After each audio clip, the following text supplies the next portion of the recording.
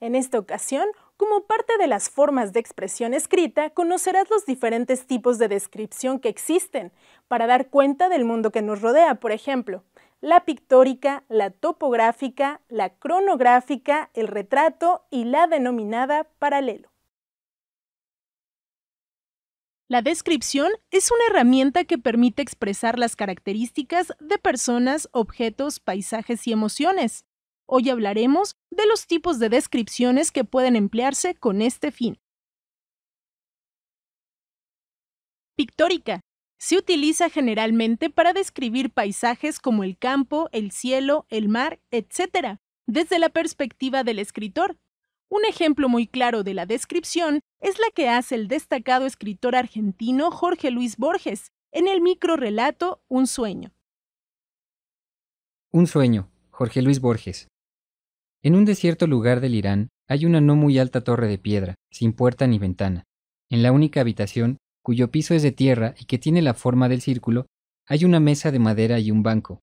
En esa celda circular un hombre que se parece a mí escribe en caracteres que no comprendo un largo poema sobre un hombre que en otra celda circular escribe un poema sobre un hombre que en otra celda circular.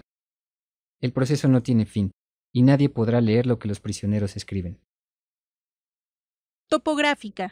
En esta descripción, el observador pareciera estar inmóvil para detallar lo que observa desde un punto de vista en particular, es decir, proporciona los rasgos característicos de un paisaje.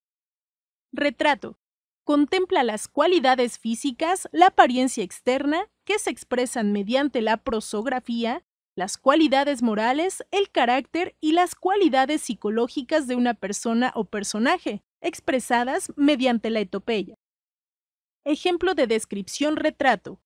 El tabernero era un hombre rechoncho de modales vulgares, su cabeza redonda y mal peinada parecía incrustada entre los hombros, Cabe señalar que si el propósito es destacar los aspectos más negativos de la persona, la descripción recibe el nombre de caricatura.